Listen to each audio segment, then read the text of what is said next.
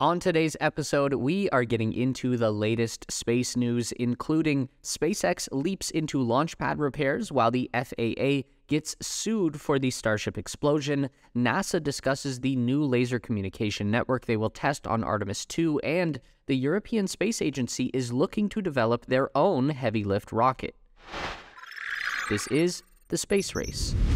SpaceX is diving headfirst into repairs at their orbital launch test site in Boca Chica, Texas. The April 20th launch of the company's prototype Starship heavy lift vehicle system exploded four minutes after liftoff and left what originally looked like a catastrophic amount of damage. However, as more data has come in and as engineers and contractors have had a chance to look over the site, SpaceX CEO Elon Musk is happy to report that the damage looks much worse than it actually is. Elon gave an update during a recent Twitter Spaces event where he went over details of the launch as well as the damage to the site. The tank farm damage is superficial, only the external tank shielding was damaged, and those are very easily replaced. He hinted that those large vertical towers will eventually be replaced by the lower profile horizontal tanks as well. The chewed up drawworks on the Mechazilla Tower also seem to have only sustained minor damage, as the tower's arms have been able to lift up and down for repairs without issue since the launch. And even the crater under the orbital launch mount, that giant hole that was easily the most dramatic damage caused on the day, is on its way to being filled. As it turns out, the ground underneath the concrete pad was mostly sand, which likely contributed to the tough Fondag concrete breaking up in the first place. The low density sand didn't support the concrete from below and allowed it to get pushed down and crack under the pressure. Considering SpaceX is going to be installing their new water cooled steel plate pad before the next launch, the company is likely going to be taking advantage of that big hole under the OLM to complete that procedure sooner rather than later. From what Elon has said, the steel plate will cover all of the ground underneath the launch mount and around the legs. The plates will be perforated with hundreds of small holes that will act as a big sprinkler or like an upside down shower head for the new water cooling system. Water will flow up from under the ground and provide an insulating layer over top of the steel to absorb heat and vibration. So, Things seem to be in hand at Boca Chica. The repairs and testing might take a bit of time, but it certainly shouldn't stop another launch from happening this year. Elon is saying as many as four more launch attempts in 2023, which sounds optimistic, but it's good that he's staying positive. Unfortunately, the same can't be said for the political fallout. On May 1st, the Federal Aviation Administration, the U.S. government organization responsible for licensing rocket launches, among other things, was sued by five environmental and cultural heritage nonprofits, claiming that the FAA failed in its responsibility to fully investigate the potential dangers of allowing SpaceX to launch their prototype rocket. Now, just like when the FAA investigates failed launches, this sort of lawsuit is more representative of these companies doing their jobs than anything else. Starbase Boca Chica is surrounded by wildlife preserves, state parks, and places that hold cultural significance to local indigenous tribes. Sand and ash from the Starship launch was reported as far as Port Isabel, Texas, which is about six miles from the launch site and means that the local protected park space was affected. And of course, there's the fact that the flight termination system, the device which breaks a failing rocket into smaller debris in the event of an emergency, didn't work properly during the April 20th launch. If we look at the video leading up to the final explosion, you can see a few long jets of gas shooting out from one side of the rocket as it tumbles through the air. Those are coming from holes in the propellant tank created by the FTS charges, and that action should have burst the tank immediately, Elon reported that it took over 40 seconds after the SpaceX team activated the system for Starship to actually explode. That's a pretty worrying problem that could have easily endangered nearby protected land if the rocket had lost control sooner. So, regardless of whether any wildlife or people were harmed, it would be weird for these nonprofits to not take any action in this case. But unfortunately for the FAA, this lawsuit isn't just going through the motions. The suing groups believe that the FAA should have done a more in depth environmental study known as an environmental impact statement before giving SpaceX their launch license. Back in June 2022, the FAA completed their final programmatic environmental assessment, which allowed SpaceX to begin testing Starship and plan for a full on launch. However, a PEA is a comparatively light investigation, and the suing companies say that this wasn't enough, especially given Starship's explosive debut. The primary argument of the suit is reportedly the fact that the FAA had originally intended on doing a full impact statement, but had waived that requirement based on SpaceX's preferences, according to attorneys.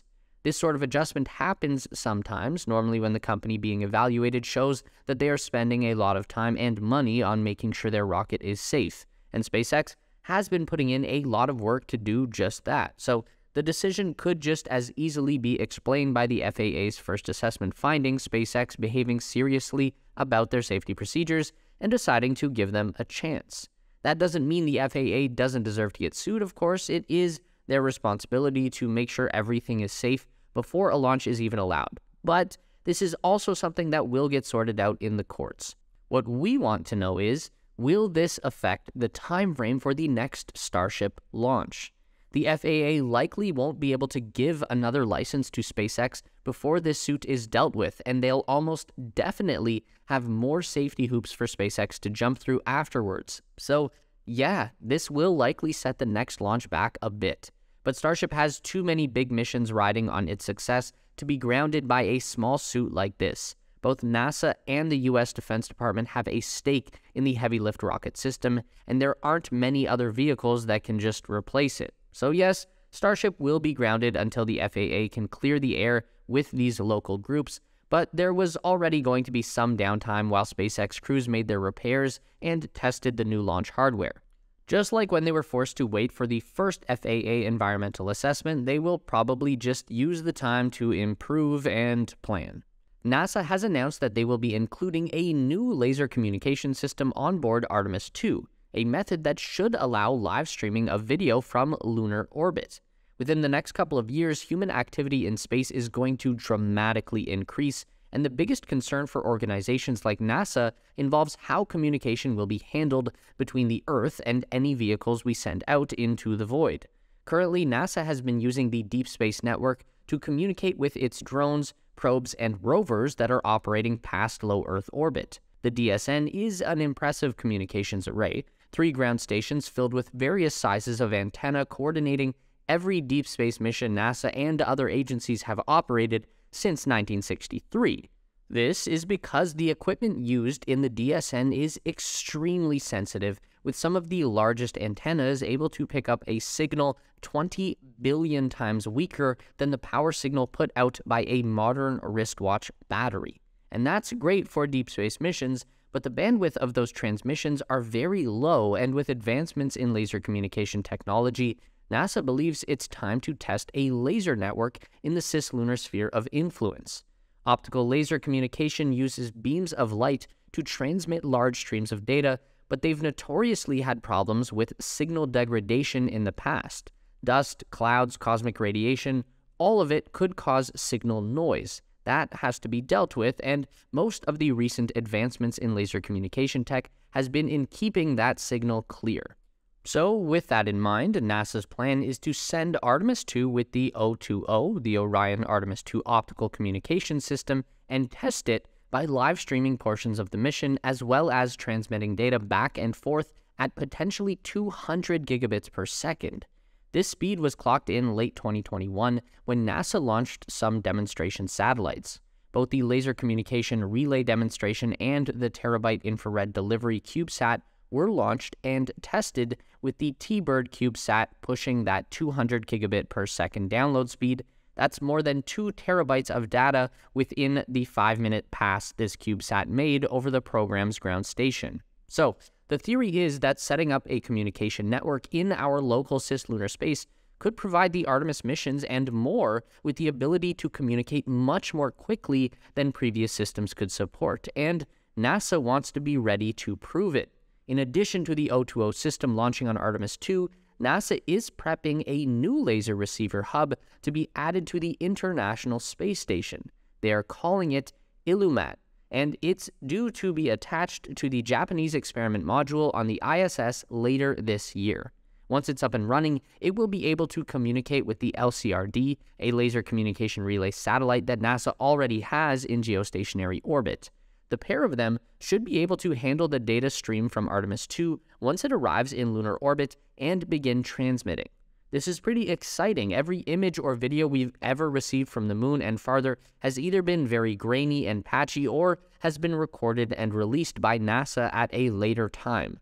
This will be the first time we'll be getting live, crisp shots of the moon in the same way we get live video from the ISS. And if they can have this work reliably, it will solve a lot of communication issues between Earth and the moon for future missions. The European Space Agency has announced that they are investigating options for the development of their own heavy lift, fully reusable rocket as they struggle to compete with the commercially supported US market the ESA has asked Ariane Group and Rocket Factory Augsburg to assist them in their study called Protein, which is going to have until this September to see if it's possible for the ESA to develop a fully reusable rocket system with lift capabilities like SpaceX's prototype Starship vehicle.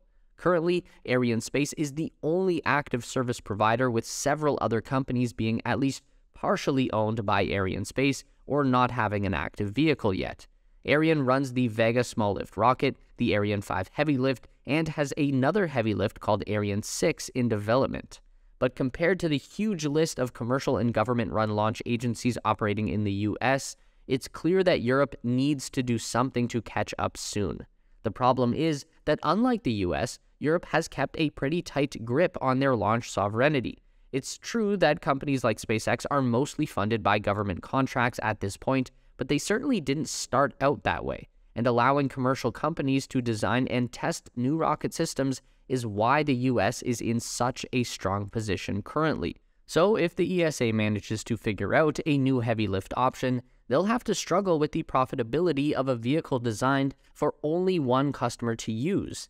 They need all the functionality of SpaceX's rocket line, and they need it to operate with just the European member countries as clients, which could work, but would definitely require a policy shift to more space investment to support the effort.